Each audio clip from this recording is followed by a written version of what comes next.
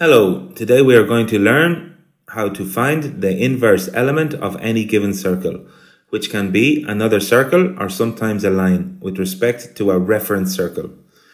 The inversion in a circle is a transformation which transforms one point A into its inverse point A prime, whose distances from the origin O equal the square of the radius of the circle which defines the inversion and satisfies the equation r squared is equal to OA times O prime, OA prime.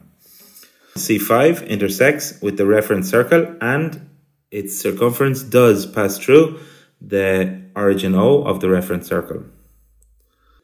The inverse C5 prime of this circle C5 is a straight line which passes through the intersections points 9 and 10 highlighted here in red dots. So we only have to join these points in a thicker red line as shown.